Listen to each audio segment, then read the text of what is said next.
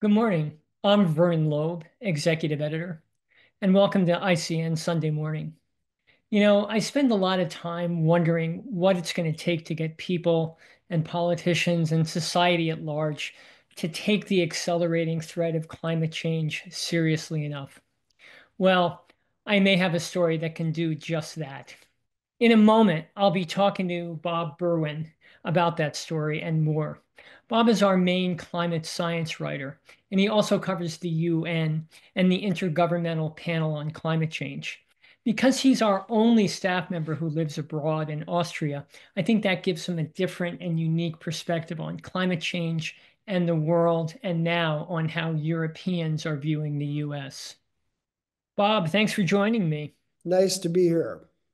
The piece that I mentioned uh, in my intro uh, came out of the uh, European Geosciences Union meeting that you just covered in Vienna. Um, and it's about how climate change is driving a big increase in dangerous clear air turbulence, which is invisible to pilots in, in, in cockpits, but can be very damaging to air aircraft and, and can even injure people. Um, what causes this? It, it's definitely can get the get the attention of of people who fly a lot or, or people who fly in general. I think it's worth remembering that only 11% of the world's population flies on an annual basis. It's much higher in the US, though. I was surprised when I looked it up today. 44% of Americans say they take a commercial flight once a year. So that's higher than I thought it would be. So definitely of interest to a lot of people. Um, the researchers at the conference discussed how clear air turbulence is, is caused by, by the, the jet stream, and the increase is caused by changes to the jet stream uh, that are caused by global warming, by, by the way different patterns in the atmosphere shift and change. And just for short reference, the jet stream are these broad rivers of air that can be a few hundred miles wide and several thousand feet thick, and they flow in kind of a wavy pattern from west to east in both hemispheres. And um, they're driven by the, the temperature contrast between the polar areas and the mid latitude areas, where like the continents of North America and Europe are and global warming is melting. Sea ice it's changing the pattern of these of these warmer and cold areas the relative temperature difference between them. And all those things affect the jet stream and in particular something called uh, vertical wind shear which is uh, a movement in the wind that one of the, the researchers likened to a waterfall in a smooth river. When a smooth river approaches a little steeper gradient, it flows faster and it starts to become turbulent. And he said, imagine a little boat floating down, and as it goes over the waves, it starts to tumble and bob and so forth. And that's also what's happening in the in the atmosphere. Yeah. It's interesting. One of the scientists you quote, um, David Faranda, got interested in this topic when he was on a three uh, flight from LA to Charlotte and experienced clear air turbulence for three hours. And mm-hmm. the plane was sort of violently thrown about, and luggage fell out of the overhead luggage rack. And this really traumatized him. Mm-hmm. I wish I would have asked him a little more about that specific incident because it seems like a really long period of time for that sort of turbulence to to happen and that the plane couldn't get out of it. So um, and they actually had four case studies, but not that flight as part of their presentation, where they were able to look at these four, you know, very specifically look at detailed weather models and charts and figure out the history of these flights in the hopes that they could you know, use that information to to give better warnings to other pilots and and other flights. Yeah. Um, you know, as scary as the story was, and you know, I hate heavy turbulence when I'm flying, uh, and, and, maybe it will help focus people on on threats from climate change. I don't know, but um, there was something sort of hopeful in your piece uh, about um, changes that this clear air turbulence might bring about in, in mm-hmm. air travel. Right. Um, I, I think that's already happened to some degree. Just the awareness has already grown. So people might notice who fly that you get more warnings about keeping your seatbelt on, even when everything seems perfectly calm. So the pilots are aware that this has been happening more often and they're asking people to, you know, look after their own safety. And they, they wear their seatbelts when they're in the cockpit sitting all the time too, for that same reason. Um, and, and David Faranda said, you know, they're already looking at new types of designs for planes for both the wings and the airframe to make them more resilient, more flexible as they plan new generations of, of planes, perhaps also with non-fossil fuel engines, you know, to make them more resilient to those types of conditions and better forecasting of these of these winds in in that are part of the jet stream to know where those conditions might happen and even be able to avoid them change the the flight path or the elevation of the flight a little bit the altitude. Yeah yeah. The other story that you wrote coming out of that meeting in vienna was about how the world's global scientific community is sort of rallying around american scientists now in light of the threats from the Trump administration to scientific research and, and indeed to the scientists themselves who are being laid off in droves from the US government. Uh, what kind of help are the Europeans offering the Americans? Mm-hmm. Um, I want to start by saying that there were more than 800 American scientists there. I think 880 US scientists, including some senior researchers with agencies like NASA, um, who were giving presentations. And I spoke to a lot of a lot of the well, I spoke to a lot of uh, to some of the American researchers, probably about 10. Most of them were pretty young and I didn't get the impression that they thought that science was going to, you know, go away completely or die out. They were enthusiastic about their work and their research. Of course, they were worried and and concerned for some of their colleagues, but it was just a, a, a sign to me that U.S. science isn't going to go away in the next four years. It's going to change. Some of it's going to, you know, federal science is going to go away, but not all science is going away. Mm-hmm. Um, from the EGU side, I think one of the most important things I heard is there's a lot of sort of personal uh, support, emotional support, compassion, and empathy, which are really important qualities in, in the world these days.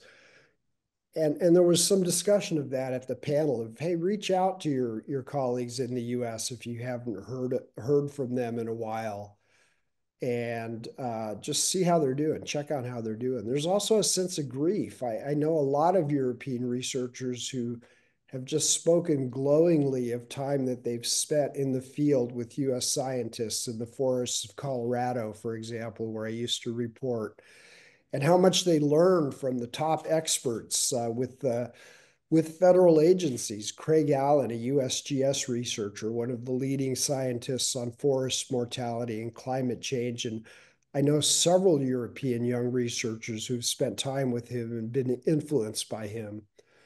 Um, uh, a couple of more specific things. The EGU has set up some programs to help get research published by not just American scientists, but also scientists from other countries who face budget challenges or political challenges.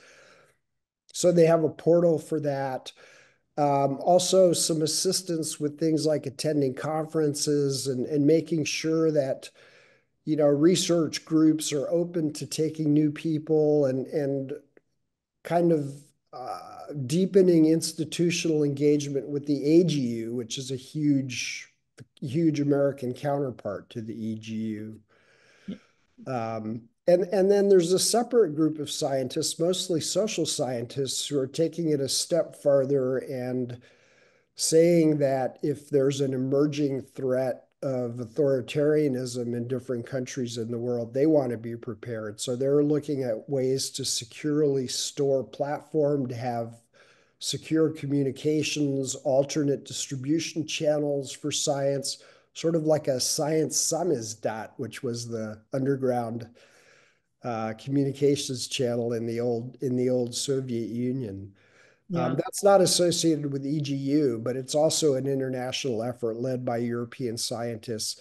And there are also a lot of European scientists working on data rescue efforts right now involving yeah. data from the US. Might we see a reverse brain drain with American scientists going to Europe to work? I, I think I think to some degree you might, and there are some efforts to entice American scientists to go to Europe. Um, you know, science has always been an international endeavor with people going both ways. Um, and budgets are tight everywhere. You know, there's a sort of geopolitical climate right now of insecurity and concerns about conflict. And um, I think a lot of governments around the world, uh, you know, have already even voiced like, oh yeah, if you know, if you're an American scientist, come here. But you need to have money to back that up too. And it's not like there's huge amounts of money flowing for science in a lot of countries. So uh, that might slow a brain drain, but I'm sure that there will be American scientists looking to relocate in other countries. Yeah. What Some about already the, have. What about the national climate assessment? Um, Trump has pretty much fired all the scientists who are working on it in the federal government. Are we going to have a national climate assessment, which I might add is required by federal law? That's a really good question. Um, I think the answer is unclear, and I can give you a few details to that. I do also want to say that with or without a national climate assessment, we actually know really well what the climate problem is, and we also know how to solve it. Um, you know, and yes, we need to know how much worse it's going to get, how much warmer it's going to get, whether droughts will get even drier, whether heat heat waves will get even hotter. So, you know, clearly we need research, we need national climate assessments, but also we have enough information to act now on the main problem, which is the the release of greenhouse gas emissions yeah. From burning fossil fuels. Um, as far as what will happen to it, you know, I, th- I think it hinges on will there be a legal challenge to the effort to eliminate it, or will the Trump administration decide to appoint some scientists that, as has been suggested, maybe have a, a, a viewpoint that's skeptical of the, the climate consensus and try and publish a report that, uh, you know, shows things differently? I, I, I think it's too early to say exactly what's going to happen yet. And it depends a lot on, on other things that happen in the next few weeks and months. Yeah. Um, last question. What's going to happen to American scientists who have been working with the IPCC now that, you know, Trump has removed the country yet again from the whole Paris mm-hmm. climate mm-hmm. process? Yeah. Uh, the IPCC, a lot of the work that's done is voluntary. So it doesn't necessarily require federal funding other than uh, budgets for travel in some cases for federal officials. I don't think there'll be any formal involvement. Um, but again, I'm just speculating. They may, because the US is part of the United Nations, they can send people to those meetings, even if they withdraw from the Paris Agreement they can still send people there as an observer delegation. Um, and it's unclear to what level they'll they'll participate.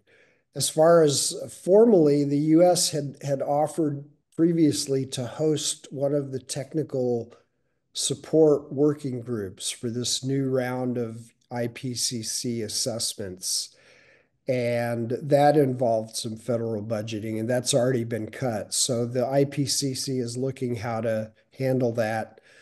Um, some other country will likely step up to to do the support work for that technical unit, and that means providing labs and lab space and uh, tools for analysis and things like that. It's it's really kind of a logistical part of it.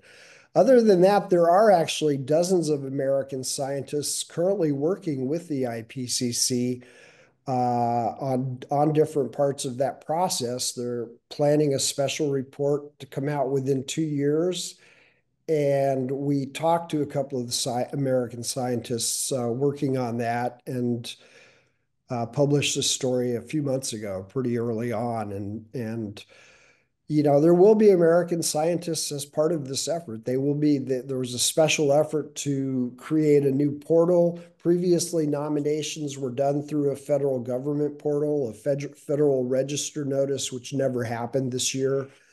Uh, but uh, a group of universities allied to create sort of a new institutional framework for ensuring engagement.